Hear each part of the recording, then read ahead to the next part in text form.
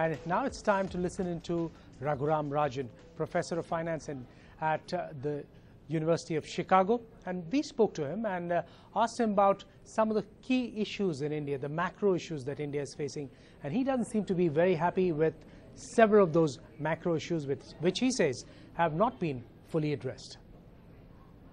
One of the big debates here at Davos has been is 20th century capitalism appropriate for the challenges that we're facing in the 21st century? With me is a very well-known uh, economist, Raghuram Rajan, uh, the Eric J. Gleacher, distinguished uh, professor of finance at the Chicago Booth School of Business. Thanks very much, sir, for your time. Great to Thank have you. Thank you for having me. Uh, is the discussion around capitalism just purely academic, or, I mean, the issue is getting magnified because the world is going through very tough times? Well, we've seen some big uh, um, sort of losses in the financial sector. We've seen the follow-on crisis, and uh, people are certainly asking questions about capitalism.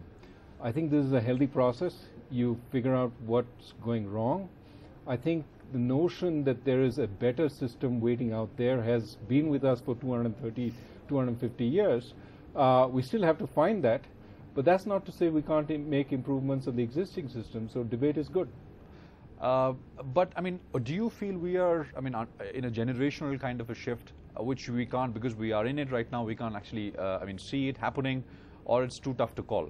There may well be, and, and I think change uh, often, when it's evolutionary, you see the net cumulative effect after many years. Well, the big shifts going on, clearly technology is having an impact, perhaps less so than in the past, but it is still.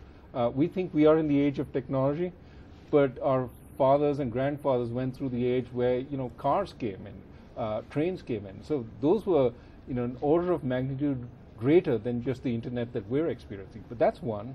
And also the growth of India and China, uh, big countries, enormous effect on the world in terms of production, in terms of consumption. We're adjusting to these things, and we're adjusting to it in the midst of a financial crisis in the industrial West, which uh, I think all suggest we should ask questions about where we're going.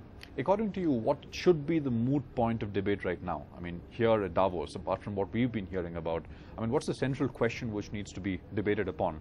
Uh, with, I mean, in the context of the challenges which uh, the world is facing. Two big questions. How do you tame a financial sector so it gives you the good side? And finance is important. Uh, it finances uh, entrepreneurship, which I think is very, very critical to innovation, which we need. Uh, so, how do you keep the good side?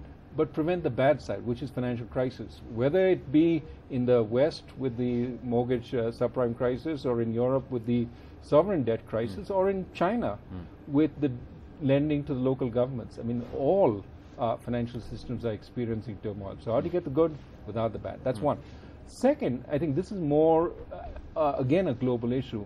How do you prevent inequality from building up? And one of the things that globalization does, along with technology, is it gives the skilled, uh, the more educated, a better chance at playing in the global uh, economy.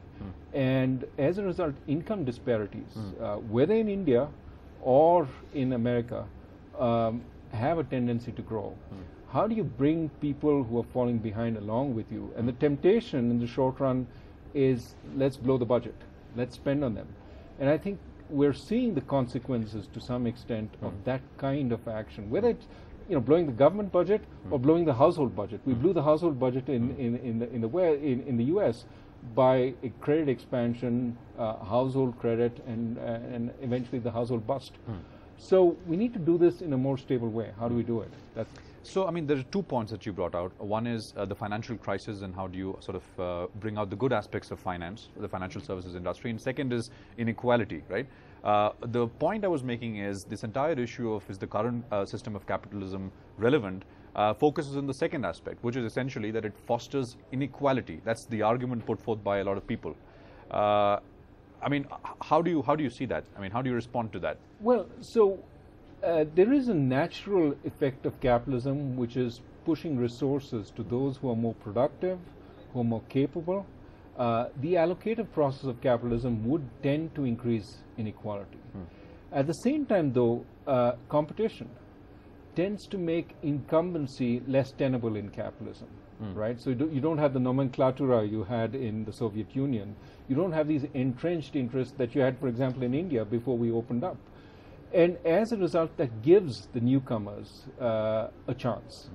Now, what we need to do is make sure they are equipped with the right kinds of capacities. Uh, in India, for example, it means we have to focus much more on education uh, for the very poor, for the middle class, so that they have a chance to obtain the kind of wealth that the upper upper middle class is obtaining.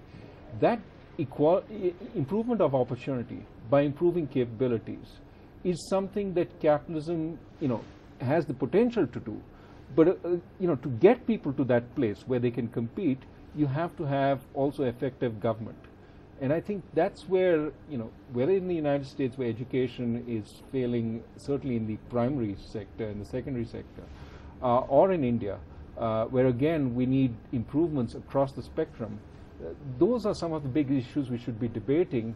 Uh, and you know, to some extent, I think a lot of energy now we focus is focused on do we need extra stimulus, rather than how do we sort of focus on the medium and long term.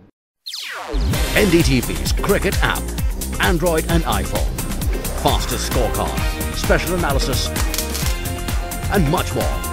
Download free. ndtv.com slash apps.